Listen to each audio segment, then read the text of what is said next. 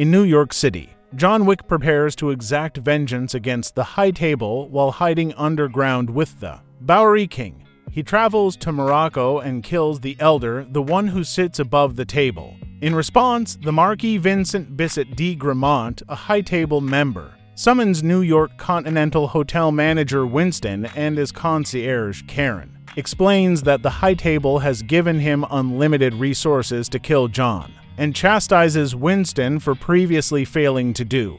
So, A, as punishment, the Marquis strips Winston of his managerial duties, declares him excommunicado, destroys the New York Continental, and executes Karen. The Marquis then enlists Kane a blind, retired high table assassin to kill John, his old friend. Threatening to murder Kane's daughter otherwise, John takes refuge at the Osaka Continental, run by his friend Shimazu Koji. The Marquis' second in command, Chidi, backed by high table assassins and Kane, arrives to investigate the hotel. Koji's daughter Akira, the hotel's concierge, evacuates the hotel just before the high table deconsecrates it, igniting a melee.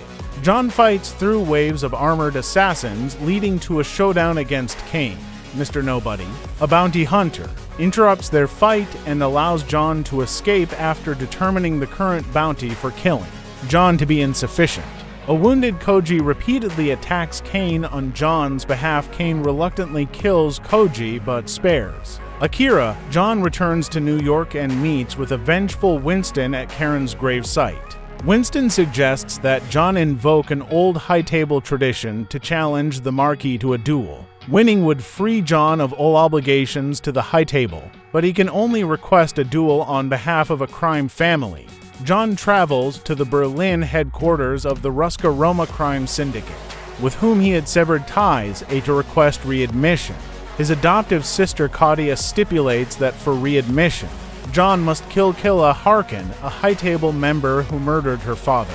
Killa sets up an ambush at his nightclub, but with the aid of Kane and Mr. Nobody, John manages to kill him and regains his status. Winston relays John's challenge to the Marquis, acting as John's second, and requests that the New York Continental be rebuilt, with him reinstated as manager. Should John win? In Paris, John and the Marquis decide on the duel's parameters, dueling pistols at sunrise the following day at Sacre in a meeting moderated by the Harbinger, the table's emissary, the Marquis nominates a reluctant Kane to take his place, while the Harbinger warns that John and Winston will be executed should either fail to appear on. Time The Bowery King arrives in Paris to give John a pistol and a new ballistic suit. The Marquis intends to prevent John from arriving at the duel in time by placing a $26 million Bounty on him, John fights off hordes of assassins on his way to Sacre, including Mr. Nobody,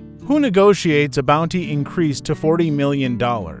During their confrontation, John prevents Chidi from killing Mr. Nobody's dog, causing Mr. Nobody to abandon his pursuit of John. After Kane and Mr. Nobody assist John in fighting off several assassins, including Chidi, who Mr.